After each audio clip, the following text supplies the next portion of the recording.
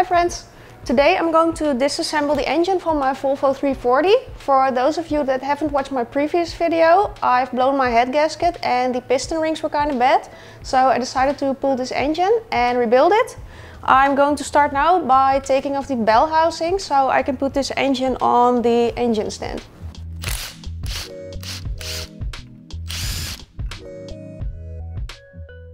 Almost forgot I have to remove my starter motor first.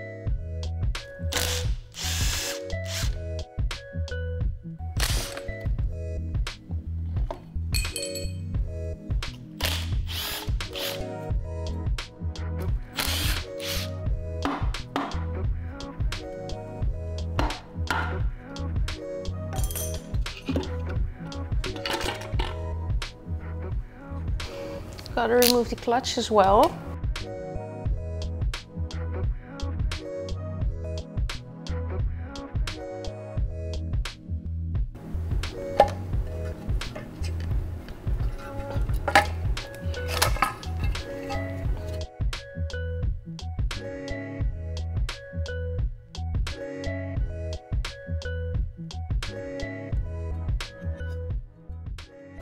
So now we can finally put the engine on the stand.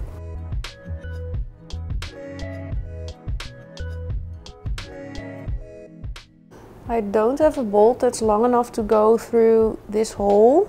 So I'm going to hang the engine with just three bolts and hopefully that will work, but I'm pretty sure it will.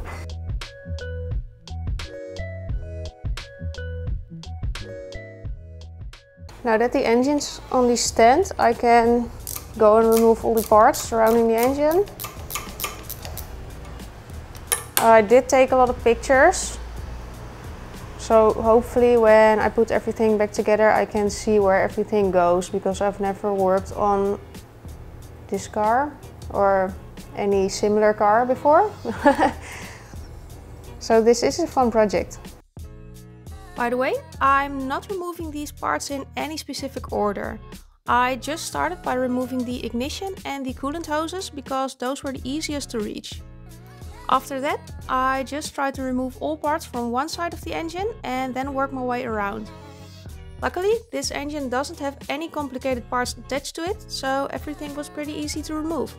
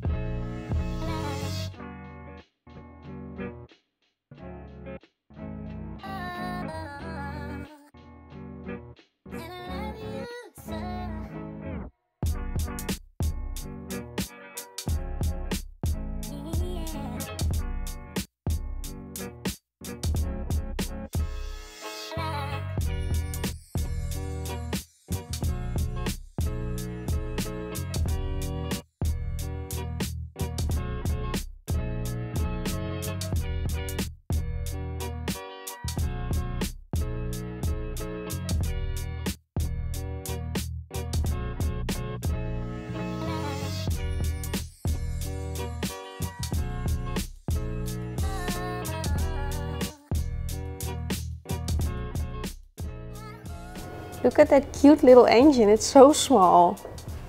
Now let's remove the valve cover and the cylinder head so we can see the pistons.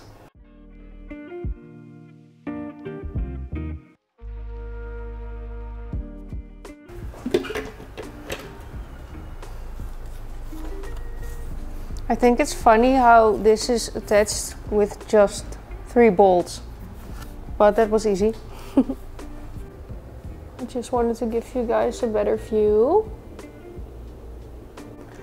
I have no clue how this works. I think I gotta release these bolts.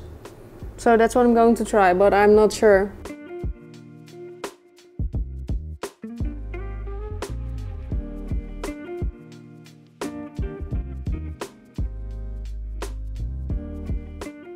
That worked. Now it's time to remove the cylinder head bolts. I'm going to try and use a normal ratchet first. So hopefully these aren't too tight.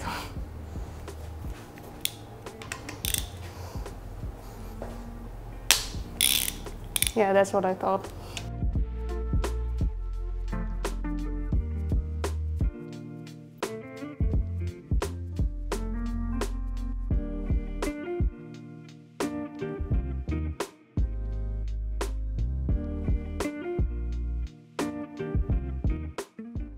Just take a look at that.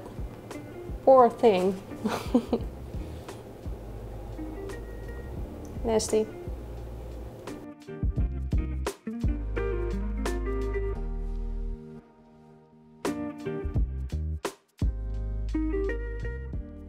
Let's get rid of the old head gasket as well. And then I'm going to turn the engine so I can remove the oil sump. Now let's remove the oil sump real quick and then we can get to the end caps of the pistons.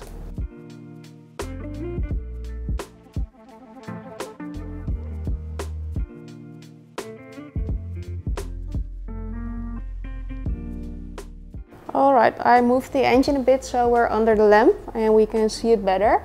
We can finally see the end caps of the piston. I'm going to turn the engine a bit so these pistons are on the top and then I'm going to release these bolts and we can take the pistons out.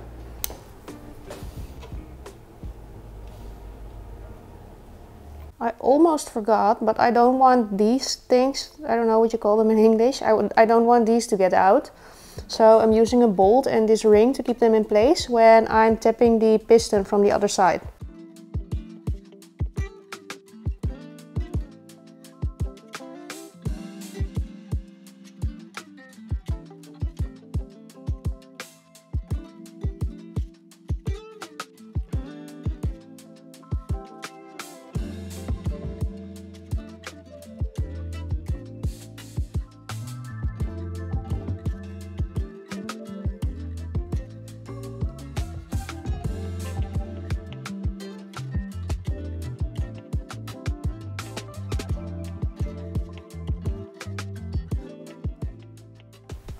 Now let's turn the crankshaft another 180 degrees and then we can get to the last two pistons.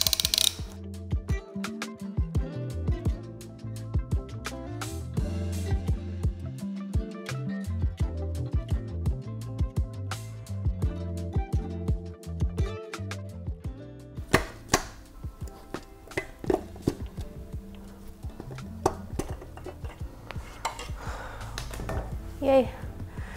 One more to go.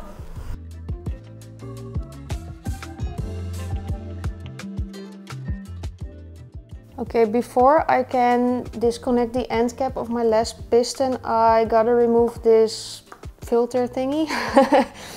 I, I, don't know how to call it in English again.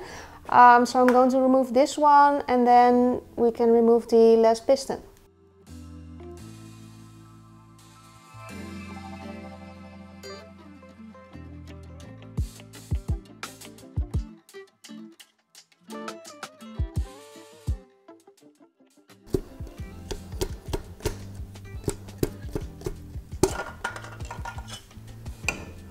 And that's it.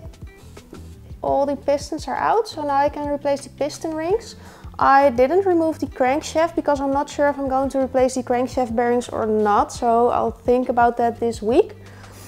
I'll get back here later this week to get everything nice and clean before I'm going to rebuild this engine. Uh, so stay tuned. Thank you guys so much for watching. Don't forget to like and subscribe and I hope to see you next time. Bye!